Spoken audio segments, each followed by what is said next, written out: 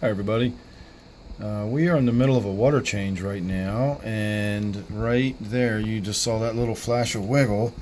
Um, my South American bumblebee cat has made a little bit of an appearance. I've not seen this cat in weeks. I did not know whether it was still alive.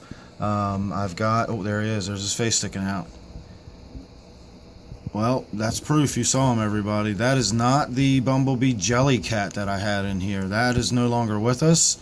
Um, I'm in the middle of a water change right now, and it's got everybody squeezed into a really tight uh, area. I just did about a 75% water change, so the population density got really tight for a little bit. And I guess it disturbed everybody, and while I was sitting here, he popped out. So I was just saying in a video the other day that I wasn't sure whether he was even still alive. This is a cat that I literally see once every several months. And I was hoping maybe once that bumblebee jelly died, um, it, it, was a little bit bigger and a little more aggressive. Um, those, unfortunately, as much as exciting as that looks, those are just my skunk loaches. Those are not actually the uh, the uh, cat we're waiting for to pop back out. See, that's all we're seeing is those little flashes. So I'm afraid we're not going to get to see any more of him, but I'm just going to chatter on a little bit here just in case because he is a really amazing fish.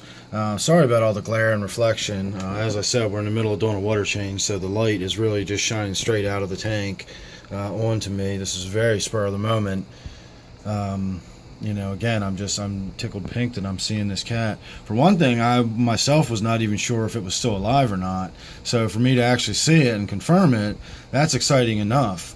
Um, but I was just talking to a friend tonight actually who was saying that I still have about five or six fish uh, that they've heard about but have not yet ever seen, and I would suspect that that one is one of them. So I know that was a little, little tiny glimpse of its face sticking out there, but that was it. Um, that is my South American bumblebee catfish, not the bumblebee jelly. So hopefully we'll see. Oh, there he is again. Look, I was yay. Boy, he does not come out much at all, does he? Well, there you go, everybody. There was your second little glimpse. I will sit here and man the camera, but I am in the middle of doing a water change, so I really do have to pay attention and uh, keep moving along with my tank maintenance here. Uh, but if I see him again, I will do my best to grab the camera and try to get some film of him. So thanks for watching. If you're not already subscribed, go ahead and do so. That way, if I ever do get any more video of him, you will not miss it because he is a really neat little catfish, and I hope I get to see him again soon. So on that note, I will see you again soon on the next video. Thanks again for watching.